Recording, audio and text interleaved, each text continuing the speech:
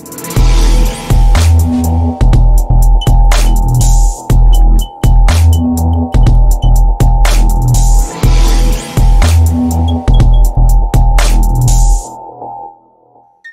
in this video we will learn about how to install themes in Drupal. If you want to install themes in Drupal, then in that case we need to follow certain procedure. First of all, go to your web browser and then enter the given URL. Now from here, you can search for a theme as per your requirements and setting that you fill up here. Further, click over search and you will get a list of several themes.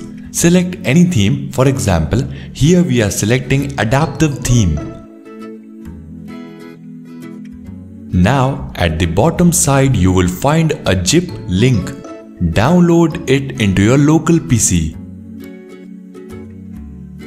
Once this theme is downloaded into your local PC, now go to your Drupal dashboard and then click over install new theme. Now from here, browse and upload the theme that you downloaded earlier. Further, click over install button.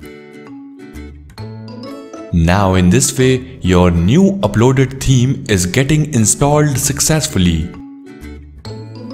Once the installation is completed and successful, you can go ahead with administrative pages.